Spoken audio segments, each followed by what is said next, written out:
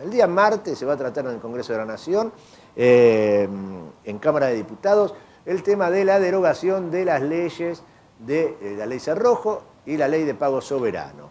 Esto que va a endeudar a nuestro país, a nuestra patria, nos va a condenar por generaciones y generaciones. Un nuevo latrocinio, eh, un desastre para nosotros, para nuestros hijos, para nuestros nietos, el endeudamiento al cual nos quiere someter Mauricio Macri y toda su trupe es un deber como argentino que tenemos de estar ahí a defender nuestro futuro, nuestro presente.